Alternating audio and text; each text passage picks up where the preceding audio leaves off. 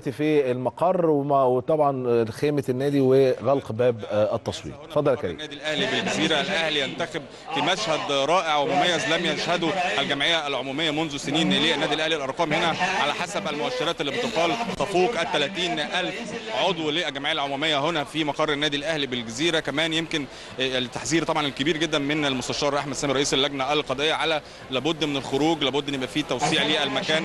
في بعض هنا ال- ال- الأعضاء الجمعية العمومية لم يدلي باصواتهم حتى هذه اللحظة لكن في الساعة السابعة تم غلق ال- التصويت على آه، طبعا انتخابات الرئاسة للنادي الأهلي.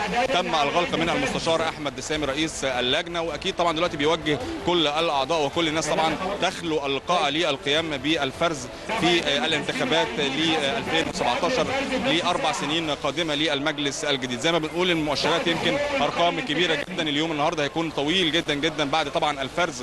يمكن طبعا الأعداد الكبيرة بتاخد وقت كبير جدا من القضاه والموظفين المتواجدين هنا من اللجنة القضائية للفرز لأن الاعداد الكبيرة. بتاخد وقت كبير جدا. كل توفيق أكيد لمن يتولى رئاسة النادي الأهلي في الأربع سنوات القادمة. وأترككم دلوقتي طبعا مع المشهد الخاص للفرز للجمعية العمومية للنادي الأهلي وأيضا اللحظات الأخيرة وغلق الأبواب بمقر الخيمة المتواجد بمقر النادي الأهلي بالجزيرة. عودة ليك في هذه اللحظات زميلي محمد.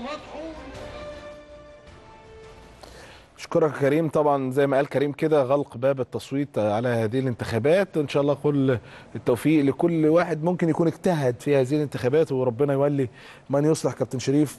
يعني وإحنا بنتكلم بكلمك على الكوادر على اللي الكوادر، موجودة. وكان آه، كابتن محمود الخطيب بيقول إحنا كابتن صالح كان بيحضر كوادر لل